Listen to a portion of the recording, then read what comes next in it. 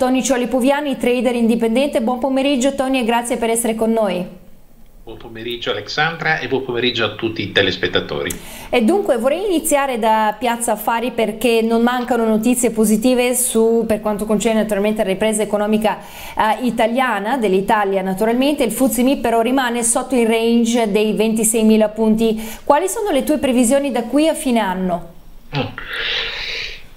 Beh, guarda, il Fuzimib oggi, oggi tutto sommato sta lottando, è molto volatile, non è eh, coerente il movimento che fa, parlo minuto dopo minuto, il movimento del Fuzimib con gli indici americani perché adesso ad esempio è in una fase, nell'ultima mezz'ora, di discreto miglioramento, ha battuto i minimi proprio circa un'ora fa a 25,270 e in questo momento sta reagendo a 25,4, io mi riferisco sempre al future sul Fuzzi MIB, l'indice ricordiamo che al momento quota 300 punti in più, quindi siamo a 25,700 punti.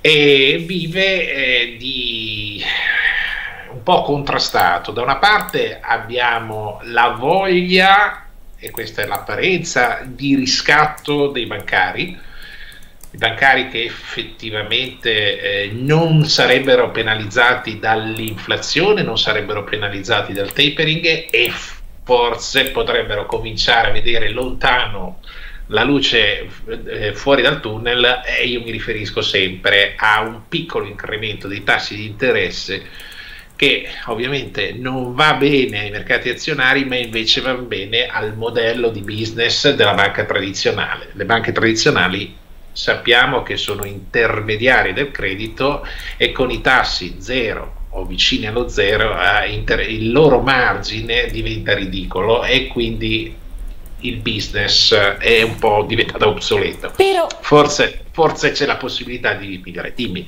Però volevo sottolineare invece un altro speciale osservato che è l'indice del dollaro, stavi parlando naturalmente di una politica monetaria meno accomodante e eh, stiamo assistendo anche oggi di nuovi massimi del dollaro già da qualche mese a, a quota 94,26 in rialzo dello 0,6% e l'euro-dollaro di conseguenza scende ad 1,1612 eh, attualmente, questi sono i livelli attuali in questo istante. Volevo capire che proprio in vista di questo questa eh, come dire, politica monetaria meno accomodante, eh, quali sono anche le prospettive per, per il dollaro e cioè eh, continuerà questo scenario di rafforzamento? Il dollaro sta in fortissimo rally, in fortissimo rally perché il mercato un po' a scoppio ritardato eh, rispetto a mercoledì scorso, esattamente una settimana fa, c'è stata la, il, la conclusione del FOMC con l'intervista e la relazione del Presidente Powell dove ha espresso, insomma ha fatto capire che se l'economia non dovesse andare male il tapering sarebbe iniziato o inizierà effettivamente già da dicembre, ma la cosa più importante è che il ritmo della riduzione degli acquisti, questo vuol dire tapering, è addirittura eh, previsto per giugno 2022 e non dicembre. Questo sta a significare un'accelerazione del tentativo di normalizzazione della politica monetaria.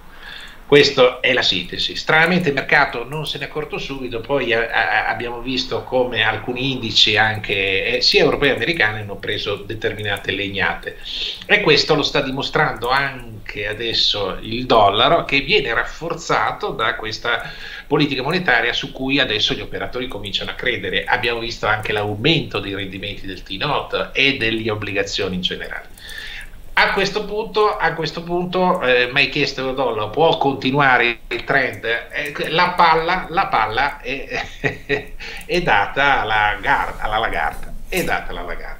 La è, è perché è all'euro e quindi eh, se non risponde la BCE con un, anche l'oro, perché la BCE è rimasta, non ha mai detto niente, è rimasta accomodante, anzi non fa altro che replicare che l'inflazione è simmetrica al 2% e ancora questo obiettivo non c'è e c'è bisogno di manovra espansiva. Se rimane questa la linea eh, della, della, BCE e nessuno lo può eh, escludere, possibile vedere anche eh, il dollaro a, a quote 1,14 ad esempio. Ottimo, questo è veramente interessante, 1,14 l'euro dollaro sarebbe veramente veramente interessante. Intanto Tony, ehm, ecco volevo ribadire che stiamo notando da qualche giorno, poi non posso non chiederti di Enel, oggi mi arrivano veramente troppe domande e so che è un tuo cavallo di battaglia, ma prima...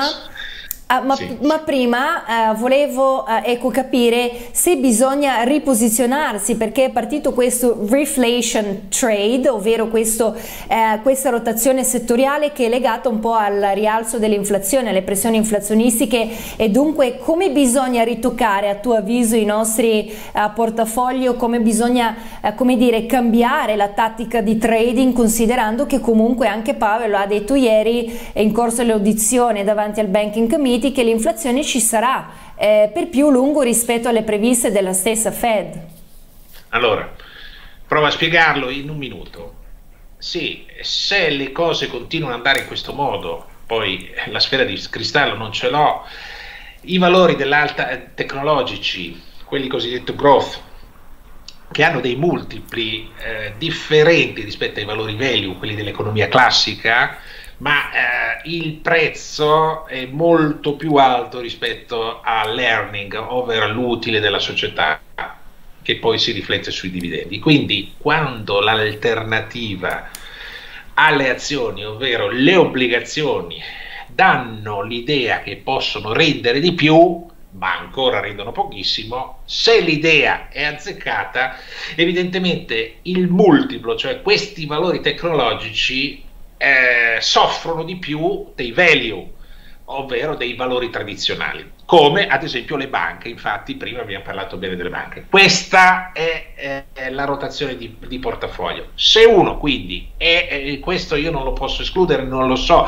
se dovesse la Fed dare atto ai propositi, fare un tapering importante, terminare ogni forma di by a giugno 2022 e magari iniziare col balance sheet reduction, ovvero la diminuzione degli asset in portafoglio, cosa che per me è impossibile, o addirittura alzare i tassi, evidentemente eh, non dico che crollino i valori del Nasdaq, però gli operatori, la speculazione andrebbe a fare questo giro di portafoglio dove ad esempio un indice come l'italiano o le banche o gli energetici anche eh, potrebbero non essere... Eh, eh, potrebbero essere addirittura e paradossalmente aiutati dall'inflazione. Quindi questo è il giro che eh, si potrebbe fare.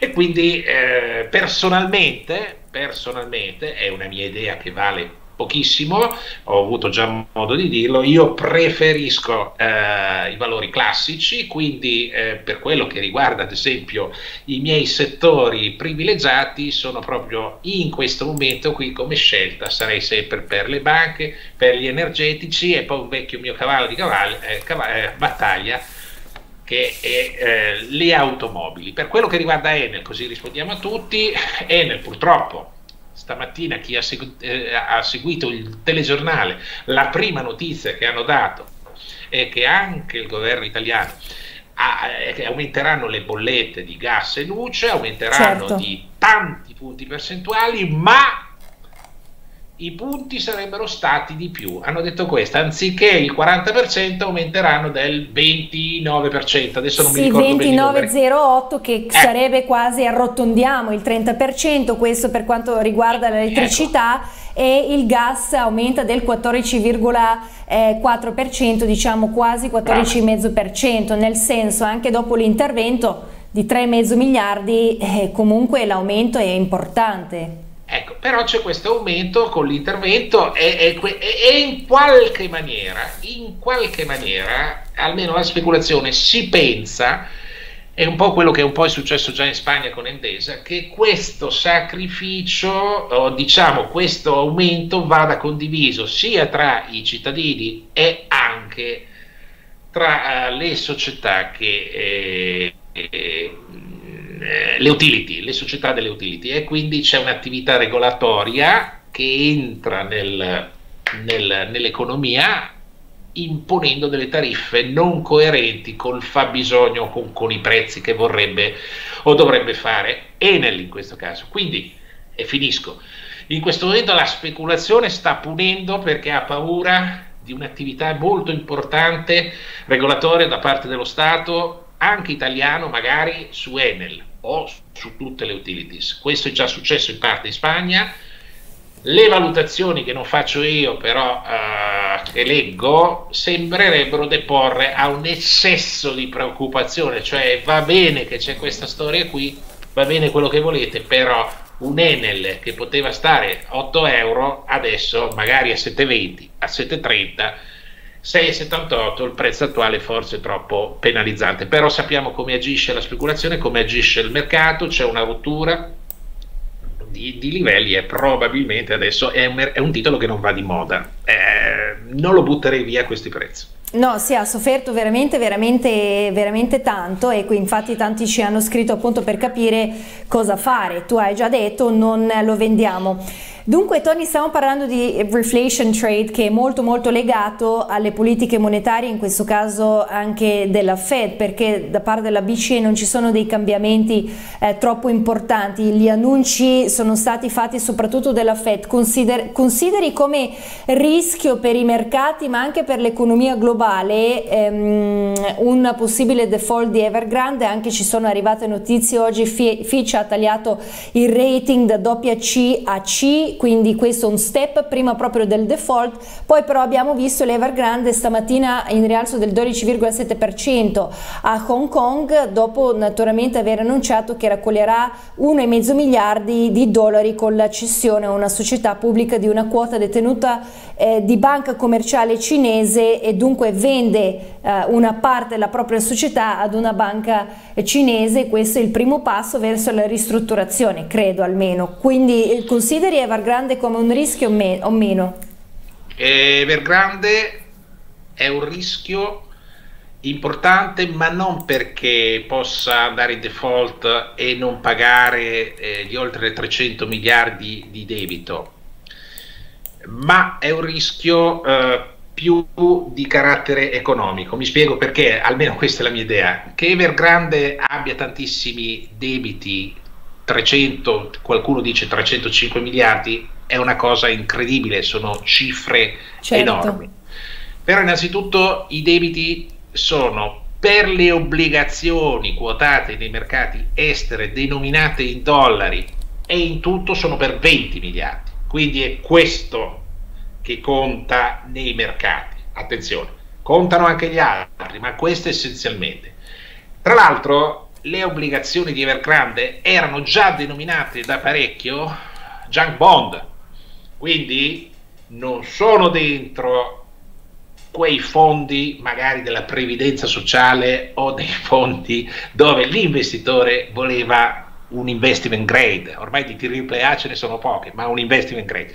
E quindi la natura speculativa dei detentori, dei fondi detentori dei Evergrande eh, bonds, 20 miliardi ripeto, è eh, già eh, predisposta a e potrebbe accettare un haircut. Evidentemente non credo che non pagheranno nulla, ma ci sarà una negoziazione che secondo me, visto il valore dei bond di Evergrande di circa il 30% rispetto al valore nominale, potrebbe essere appunto un haircut, un taglio, un accordo del 70% di sconto. Queste sono tutte ipotesi così. La cosa che invece al mercato non gliene frega niente, diciamo al Nasdaq o allo Standard Poor's o all'Italia, se la, eh, ci sono milioni di signori cinesi che hanno anticipato i soldi a questa uh, sviluppatore immobiliare, così il termine in italiano, usiamo il termine italiano, a questo sviluppatore immobiliare che è Evergrande, non gliene interessa niente, probabilmente ci sarà lo Stato cinese che per la prosperità comune e per tutto quello che sta dicendo Xi aiuterà queste persone e quindi ok. Il resto sono banche cinesi che sostanzialmente sono pubbliche, ci sarà la stamperia pronta a salvare queste banche che poi sono pubbliche. Quindi il problema non è enorme sotto questo aspetto finanziario, tipo Lehman Brothers, non c'entra nulla. Il problema però è abbastanza importante e questo più di medio e largo respiro perché la Cina è destinata a diminuire notevolmente il suo incremento, il suo sviluppo abituale di incremento di PIL. Il suo PIL, che poteva essere più 7, più 6, più 8, verrà ridotto perché? Perché dal momento che il signor Xi Jinping ha deciso strategicamente ha fatto bene a mio avviso di far diminuire la percentuale di prodotto interno lordo del real estate, dell'immobiliare, del business dell'immobiliare che è raggiunto addirittura il 30% in Cina e si vuole ridurre questa percentuale a termini americani, tedeschi, europei 15-17, evidentemente per, perché vuole? Perché vuole uno sviluppo di alta qualità, vuole uno sviluppo di grande valore aggiunto. Le case a breve periodo rendono perché tu fai lavorare le persone, compri l'acciaio, compri il cemento, compri un sacco di roba e lavori e fai i palazzi e fai i PIL. Ma dopo che hai fatto le case hai un investimento che non fa più ancora PIL, bisognerebbe fare magari più manifattura, più, più imprese. Questa è l'idea di XI Conseguentemente questo piccolo ridimensionamento, questo ridimensionamento dell'immobiliare a favore di un circuito più virtuoso comporterà momentaneamente una diminuzione dell'incremento, cioè il PIL cinese sarà sempre positivo ma un pochino meno. E la domanda aggregata dei cinesi che ricordiamo sono solo un miliardo e 400 gente che comincia ad avere dei soldi e che traina tantissimo la nostra Europa perché loro comprano tantissimo da noi perché sono tanti evidentemente potrebbe portare all'economia globale una, eh, qualche, eh, qualche segnale recessivo. Questo è il vero problema, secondo me, che sta scontando la borsa e lo vediamo anche dall'indietreggiamento del prezzo del petrolio. Il petrolio che scende è perché si ha paura che la, che la Cina possa correre un po' meno. Questo è il vero problema. Di Evergrande e i suoi creditori, pazienza eh, sì. eh, non credo che, che, che, chi ha l'Enel o chi ha le generali gliene freghi qualcosa.